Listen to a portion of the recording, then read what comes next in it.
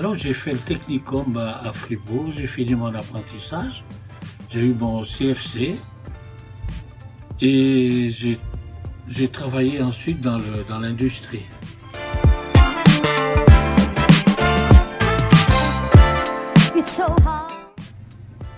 Euh, ma maman, elle, elle arrivait, elle était, était ouvrière dans, dans une euh, entreprise et, elle, venait retraiter.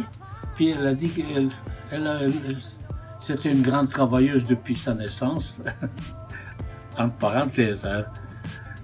Et elle voulait continuer à être occupée, elle ne voulait pas rester inactive. Commençait à avoir besoin d'aide mais elle ne se décidait pas d'arrêter. De, Puis un matin, elle s'est fait, fait toucher par une voiture. Elle a eu la, clavicule cassée, elle a eu quelques jours de repos. Après, ça, ne jouait plus. Et puis c'est mon épouse qui, a, qui, a, qui s'était occupée du kiosque.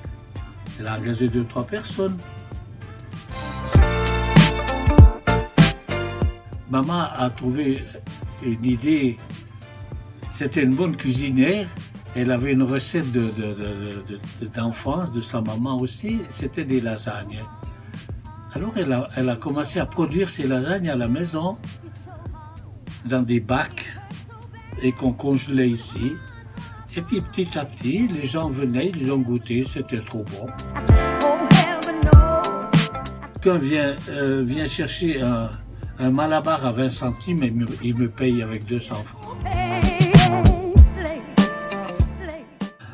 Alors là, c'est un, lieu vraiment, euh, un des quartiers, je dirais, le plus joli de Fribourg.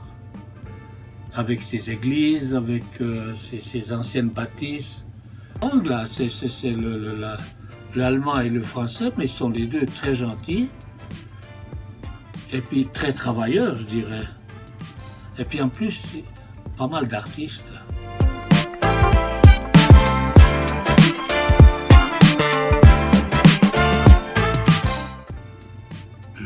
Parfait n'existe pas sur la terre. Hein. Mais on a certains bonheurs tous les jours. Des, des gentillesses qu'on reçoit des clients, des rencontres avec sourire. C'est des bonheurs.